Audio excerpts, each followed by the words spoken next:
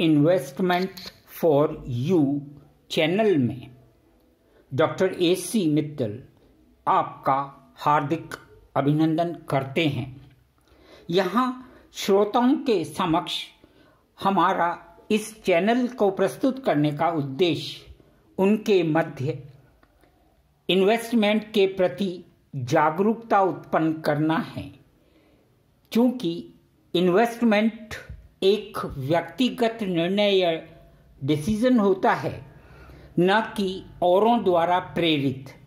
इसलिए यह ज़रूरी या आवश्यक हो जाता है कि निवेशक या इन्वेस्टर को अपने निवेश या इन्वेस्टमेंट के प्रति आने वाले सभी घटक, तथ्य फैक्ट या शब्दों के बारे में ज्ञान या जानकारी होनी चाहिए। ये हमारा उद्देश्य है। इसी परंपरा और श्रृंखला को आगे बढ़ाते हुए यहाँ पर हमारे आगे यह प्रस्तुत किया गया कि चूँकि भारतीय अर्थव्यवस्था में या इंडियन इकोनॉमी में स्टॉक मार्केट या कैपिटल मार्केट एक बहुत बड़ा सेगमेंट है जो इन्वेस्टर्स को आकर्षित करता है।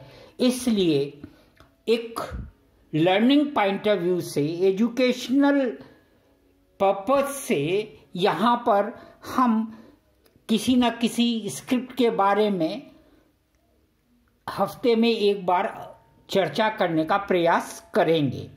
उसी श्रृंखला में आज हम शनिवार को एक स्टॉक, जो कि बॉम्बे स्टॉक एक्सचेंज पर लिस्टेड है, जिसका नाम है यूपी होटल्स लिमिटेड। चूँकि हमने ये अध्ययन के पर्पज से है, इसलिए हम उन्हीं स्क्रिप्ट्स के बारे में व्याख्या करेंगे या एनालिसिस करेंगे, जो सामान्य जन में प्रचलित नहीं है। कॉमन मैन उन स्क्रिप्ट्स के बारे में विशेष जानकारी नहीं रख पाते। और उनके लिए जो फैक्टर्स हैं, उनके बारे में एनालिसिस नहीं कर पाते हैं तो उसी को हम यहाँ पर एक एग्ज़ाम्पल यूपी होटल्स लिमिटेड का लेके चल रहे हैं। आगे का अपना विषय की चर्चा रखने से पहले मैं सभी श्रोतागणों से यह अपील करता हूँ कि वे इस वीडियो को शुरू से अंत तक देखेंगे जब ही कंटिन्यूटी के साथ विषय और घटक को समझ पाएँगे। और साथ में आपका इस चैनल को लाइक करना हमारे लिए आगे आने वाली वीडियो के लिए प्रेरणा है। और अगर कोई भी हमारे से रिलेटेड आपको या अपने व्यक्तिगत किसी समस्या के साथ इन्वेस्टमेंट पॉइंट ऑफ़ व्यू से कोई प्रश्न उत्पन्न होता है तो कमेंट बॉक्स में दीजिए। हम उसका उत्तर देंगे और साथ में अपने मित्र फ्रेंड्स के साथ इन सबको शेयर कीजिए, जिससे उनको भी इन्वेस्टमेंट से रिलेटेड कॉन्सेप्ट्स के बारे में लाभ हो सके। यहाँ हम चर्चा करते हैं यूपी होटल्स लिमिटेड की। यूपी होटल्स लिमिटेड केवल बॉम्बे स्टॉक एक्सचेंज पर लिस्टेड है, ये एनएससी में नहीं है। तो अगर आप एनएससी में देखना चाहेंगे तो ये स्क्रिप्ट आपको नहीं दिखाई देगी।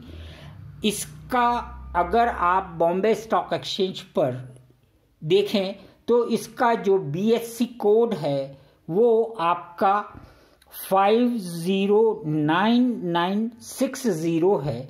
इसके द्वारा भी आप इससे संबंधित जानकारी बॉम्बे स्टॉक एक्सचेंज से ले सकते हैं और अधिक जानकारी कंपनी की जो अधिकृत वेबसाइट है, वहाँ से आप प्राप्त कर सकते हैं। यहाँ पर हमने सभी इंफॉर्मेशन बॉम्बे स्टॉक एक्सचेंज और कंपनी की वेबसाइट से ही उद्धृत किया है, जिससे कि किसी भी प्रकार का कोई संशय न रहे। अब हम यहाँ शुरू करते हैं। देखिएगा, हमने लिखा है कि, हमारा चैनल, हमने लिखा है UP hotels limited BSC code भी दे दिया। अब यहाँ पर, चूँकि हम इन्वेस्टमेंट को दो प्रकार से लेते हैं शॉर्ट टर्म और लॉन्ग टर्म मिड टर्म की बात हम अभी नहीं कर रहे। तो यदि कोई एक इन्वेस्टर अगर अपनी पूंजी का निवेश कैपिटल को इन्वेस्ट करने के बाद यदि वो कुछ प्रतीक्षा कर सकता है, कुछ उसमें धैर्य है तो अंतोगत उस व्यक्ति विशेष के द्वारा आइडेंटिफाई की गई, छाटी गई स्क्रिप्ट अवश्य ही उसके लिए एक अच्छा रिटर्न का साधन बनता है अच्छा कैपिटल रिटर्न मिलता है। अगर अब हम यहाँ इसी स्क्रिप्ट को एग्ज़ाम्पल करते हुए, इसी का हम एक क्वेश्चन का आंसर एनालिटिकल रूप में लेना चाहें कि ये स्क्रिप्ट हम लोग क्यों इसको ढूंढना शुरू करते हैं। सबसे पहले कि होटल इंडस्ट्री जिसको हम सर्विस सेक्टर्स के साथ भी जोड़ देते हैं। या हॉस्पिटली इसको हम हॉस्पिटलिटी सेक्टर में ये स्क्रिप्ट आता है। चूँकि भारतीय अर्थव्यवस्था या इंडियन इकोनॉमी में जिस तरीके का आर्थिक गतिविधियाँ हो रही हैं, जिस प्रकार से इसमें परिवर्तन हो रहा है। हमारी इंडियन इकोनॉमी जिस डायरेक्शन यानी पॉजिटिव डायरेक्शन में जा रही है, उसकी वजह से हमारे समाज में एक मिडिल इनकम ग्रुप बहुत तेज़ी से विकसित हो रहा है। और मिडिल इनकम ग्रुप दो जगह अपने जो सरप्लस इनकम है, उसको कंज्यूम करता है या उसको खर्च करता है। वह है नंबर एक हेरिटेज टूरिज़्म और दूसरा रियल इस्टेट अब यहाँ हम बात करते हैं हेरिटेज टूरिज़्म की, क्योंकि मिडिल इनकम ग्रुप का जिस समाज से वो बनता है, वह समाज कहीं ना कहीं परंपरावादी, पुरानी चीज़ों से जुड़ा हुआ होता है, इसलिए उसका टूरिज़्म का एस्पेक्ट सबसे बड़ा तो हेरिटेज टूरिज़्म होता है, नहीं तो एक जर्नल टूरिज़्म होता है जो अपनी फैमिली के साथ वो एंजॉय करना चाहता है। अब इस श्रृंखला में वह अगर हम यूपी होटल्स की बात करें तो यूपी होटल्स के पास एक क्लार्क ब्रांड से होटल्स हैं। जिसमें क्लार्क शिराज, क्लार्क अवध, इस तरह से क्लार्क आमिर, इस तरह आइडेंटिफाई होते हैं। इनके मुख्य रूप से चार जगह होटल्स हैं। लखनऊ, खुजराहो, आगरा और जयपुर। बहुत छोटा सा ये इक्विटी होल्डिंग का कंपनी है। यहाँ कंपैरिजन के लिए ये सारी बात बताई जा रही है कि हम कैसे आइडेंटिफाई करें। स्क्रिप्ट का जो फेस वैल्यू है, वो दस रुपये है और उसका मार्केट कैपिटलाइजेशन करीब करीब तीन सौ करोड़ से ज़्यादा है। है ना? और जो स्टॉक का हाई लो अगर हम देखें, पिछले 52 वीक्स का तो ये आपके सामने प्रदर्शित है। अब इंटरेस्टिंग है बुक वैल्यू तो क्योंकि बहुत से शब्द ऐसे हैं जिनको आप इस्तेमाल करते हैं, किंतु उनके अर्थ नहीं आते या कैसे कैलकुलेट किया जाता है इनको, उन सब के लिए आने वाली वीडियो में आपके साथ मैं विस्तृत चर्चा करूँगा। तो फेस वैल्यू दस रुपये मार्केट कैपिटलाइजेशन आ गया। अब हाई लो की वैल्यू भी आ गई। अब आप ये देखिएगा कि इस स्क्रिप्ट का पी क्या है? इस स्क्रिप्ट का पी अठारह पॉइंट एटीन पॉइंट थ्री है। अब हमने इस एनालिसिस को करने के लिए जिस प्रकार से हमारे पास सोर्स मिले, उन सोर्स के हिसाब से हमने इसके मीडियन को भी आइडेंटिफाई किया। मीडियन एक स्टैटिस्टिकल टूल है, जिससे हम एक पोजीशन ढूंढते हैं कि उस वैल्यू की पोजीशन क्या होगी? हाईएस्ट वैल्यू और लोएस्ट वैल्यू उसके बीच में वो कहाँ आता है? तो वेरी ये बहुत इंटरेस्टिंग है कि इसकी मीडियन वैल्यूज़ को अगर हम आइडेंटिफाई करें तो हमको ये पता लगेगा कि इस तरह की स्क्रिप्ट किस तरह का बिहेव कर सकती हैं। तो यहाँ पर आप देखिएगा कि इक्विटी कैपिटल ज़्यादा नहीं है, केवल पाँच करोड़ के पाँच पॉइंट पाँच के आसपास है। इस इक्विटी कैपिटल पर पाँच करोड़ की कैपिटल मार्केट कैपिटलाइजेशन ये आ रहा है, इसके कारण आ गया। अब जो पी है, वो ये है और मार्केट पी अगर हम देखें मीडियन पी को देखें तो वो ये वैल्यू निकल के आ रही है। तो ये दो वैल्यूज़ का डिफरेंस आपको बहुत समझ में आ रहा है कि मीडियन में हमने करीब 26 कंपनीज़ के जो एनालिसिस का डाटा का जो एब्स्ट्रैक्ट था, वहाँ से लिया है। तो ये देखने में आता है कि अगर होटल इंडस्ट्री का मीडियन निकाला जाए या आपका हॉस्पिटलिटी सेक्टर की कंपनीज़ का अगर सैंपल कलेक्ट करके मीडियन निकाला जाए तो ये आता है। जबकि इसका मीडियन वैल्यू उससे कम है। मी किस चीज़ के लिए पीई के लिए। तो कौन सी चीज़ कंफर्टेबल हो गई? ये यूपी होटल्स इस रेफरेंस में हमारे लिए कंफर्टेबल है। फिर दूसरा आता है रिटर्न ऑन द जो कैपिटल लगा हुआ है, उसका अगर हम मीडियन देखें तो वो भी हमारे सामने यहाँ पर मौजूद है। उसके बाद में अगर मार्केट कैप ये है और एवरे जो मीडियन मार्केट कैप है, वो वैल्यू ये आपके सामने। ये दोनों वैल्यू आप खुद कंपेयर कर सकते हैं। इनको मैं बोलने की कोशिश इसलिए नहीं कर रहा हूँ कि आप स्वयं इसको एक कंसंट्रेट करें और अंडरस्टैंड करें। उसके बाद में शेयर कैपिटल के बाद में, अगर क्वार्टरली हम इसका नेट प्रॉफिट देखें पर्टिकुलर कंपनी का तो ये निकल के आ रहा है, जबकि मीडियन ये है। तो मीडियन से ऊपर है ना? तो इसका मतलब क्या हुआ? कि ये कंपनी कहाँ कंफर्टेबल है?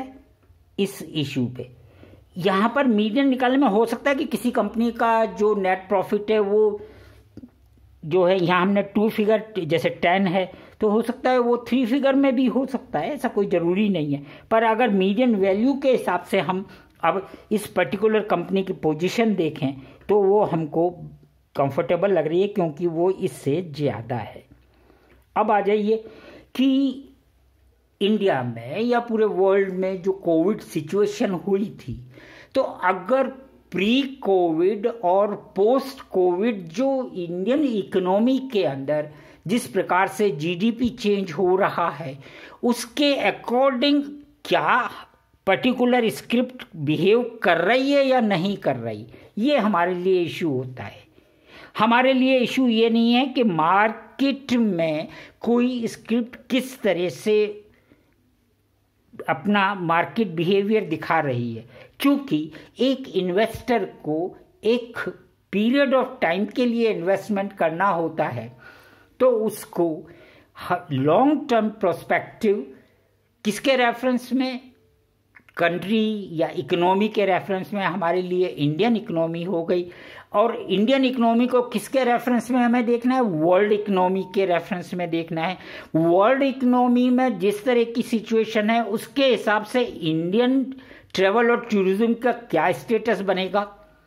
जब वर्ल्ड में करंट सिनेरियो में जिस प्रकार से अनकंफर्टेबिलिटी आ रही है तो उस अनकंफर्टेबिलिटी के अकॉर्डिंग इंडियन जो टूरिस्ट है, वो इंडियन डेस्टिनेशन को देखेगा, न कि फॉरेन के डेस्टिनेशंस को देखेगा।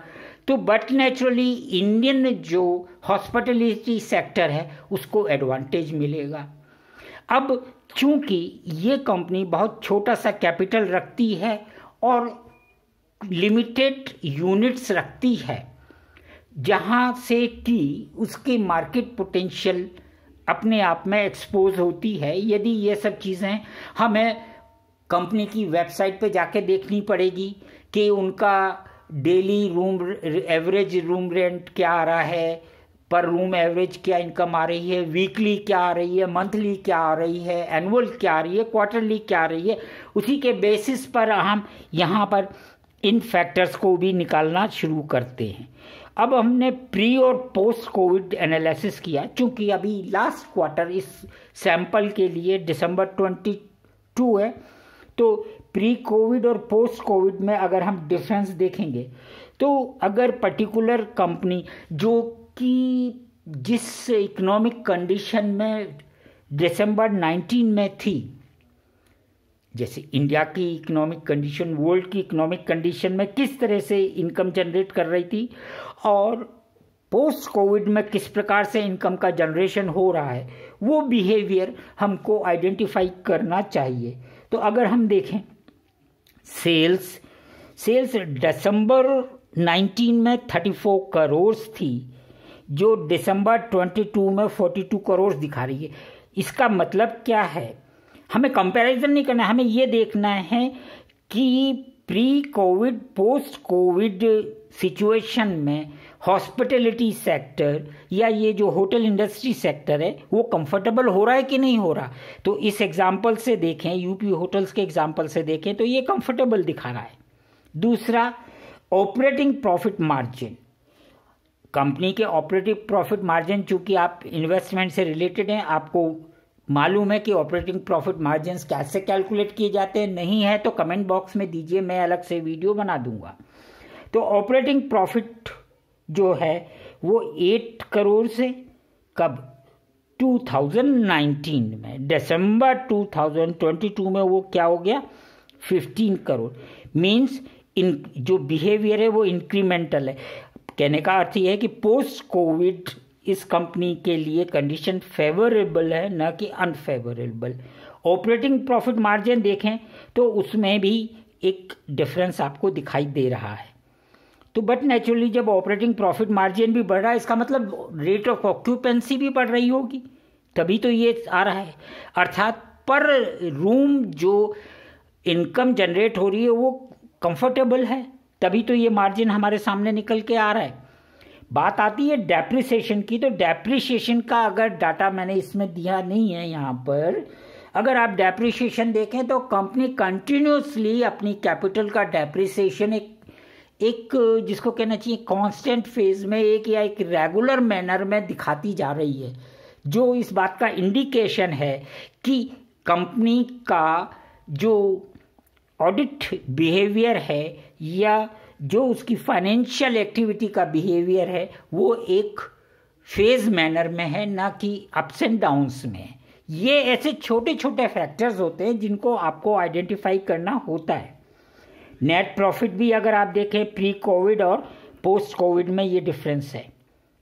उसके बाद में अगर आप देखें डेबिटर डेज़ यानी कि उसका जो इनकम आनी चाहिए, उसने जो वर्क किया, यानी मान लीजिए उसने रूम रेंट किया तो उसकी जो एक्सपेंड जो उसने निकल के आना है वापस, कि भैया आपको फाइव थाउज़ेंड रुपीज़ मेरे को आपको देने तो कितने दिन में मैं आपको दे रहा हूँ, वापस लौटा के दैट इज़ डेबिटेड डेज़ तो अगर प्री कोविड सिचुएशन में वो ट्वेंटी थ्री डेज़ थे, जो करंट सिनेरियो में ट्वेंटी डेज़ रहेगा इसका मतलब क्या हुआ?